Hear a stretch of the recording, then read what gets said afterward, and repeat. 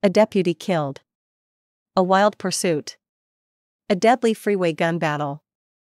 Violence stuns Riverside County. A deputy killed. A wild pursuit. A deadly freeway gun battle. Violence reels Riverside County.